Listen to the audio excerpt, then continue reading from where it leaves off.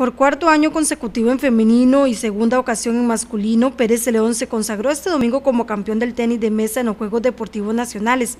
Obtuvieron ocho medallas de oro, nueve de plata y siete de bronce.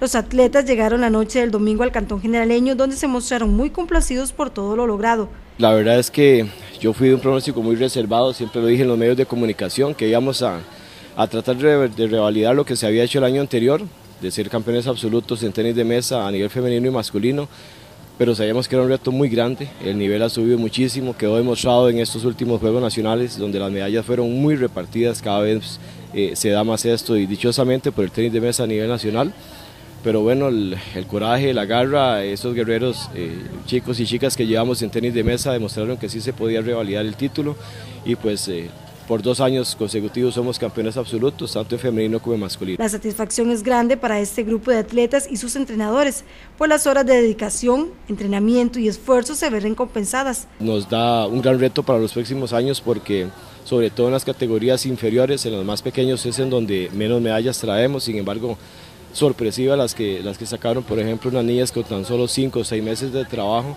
sacar dos medallas de bronce en unas categorías tan fuertes, eso es de mucho mérito. Se lograron y eso nos da pie para poder trabajar mejor. Em, en total se logran 24 eh, medallas solo en tenis de mesa, 8 de las cuales son de oro, 9 de plata y 7 de bronce, así que es un número muy, muy significativo y lo principal, ser campeones absolutos en femenino y masculino. Los atletas se mostraron muy contentos por lo alcanzado, pues dejaron a Pérez Celedón en alto. Y gracias a Dios logramos quedar campeones absolutos en masculino y en femenino. Yo logré la medalla de oro en individual y la medalla de oro en dobles mixto con mi compañera Sol. Contanos un poco, así en lo personal, ¿dónde creen que está ese, ese secreto de que Pérez Silón sea tan fuerte en el eh, tenis de mesa? Eh, la disciplina, el entrenamiento, sobre todo entrenar todos los días, el entrenador, muy buen entrenador, Iván. Eh, bueno, el primer día de competencia jugamos el evento individual en la cual llegué a la final, no se nos dio la victoria, pero al menos dimos una medalla de plata. Luego el próximo día siguieron los dobles mixtos y dobles.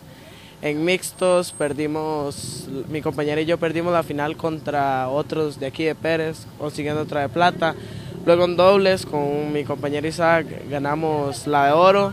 Y por último hoy jugamos la semifinal y final de por equipos, donde sacamos la victoria 3-2 sobre Santana para ser los, los, campeones. A nivel absoluto, a nivel general del tenis de mesa. Bueno, es una experiencia muy linda ya que ningún cantón nunca lo hace.